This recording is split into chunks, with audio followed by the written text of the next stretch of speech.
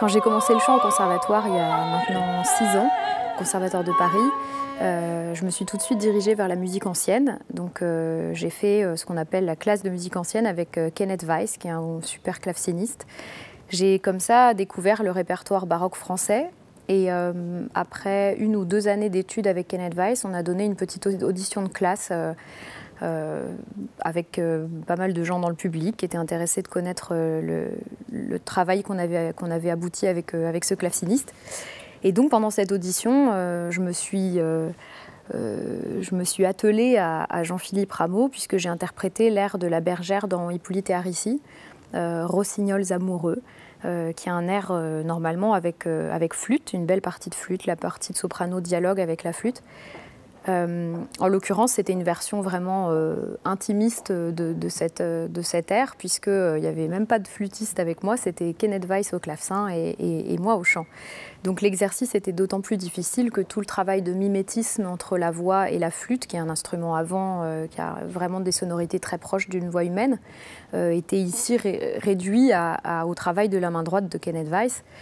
et ça m'a passionné ce, ce travail d'imitation et de et de, et de jeu euh, sur la partition, l'ornementation, etc.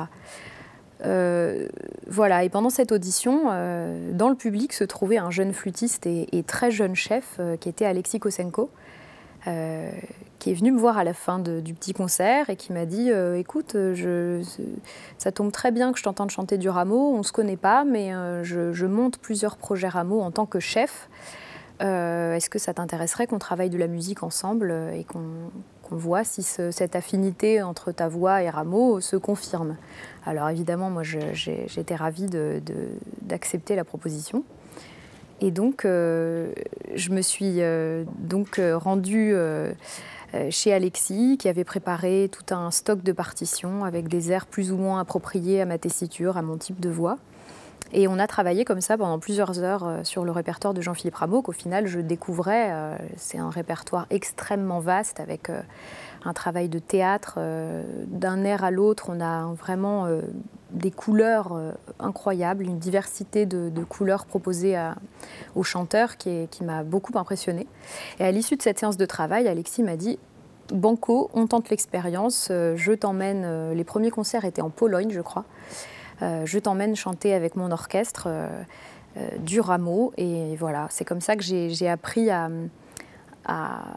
comprendre la place de l'interprète face à un public, l'interprète devant un orchestre et, en face d'un public. Et cet exercice qui est le récital, qui, est, très difficile pour un artiste puisque c'est un moment de solitude, on n'a pas de mise en scène, on est vraiment mis à nu. c'est donc avec Rameau que j'ai fait mes, armes dans l'exercice du, récital.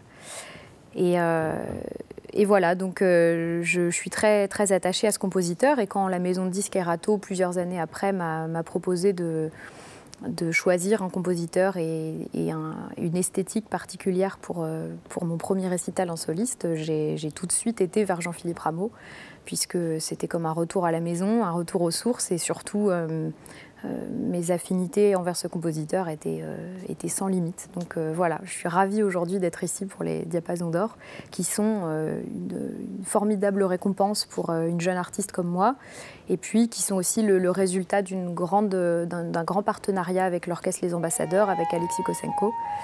voilà, donc on est, on est ravis d'être ici.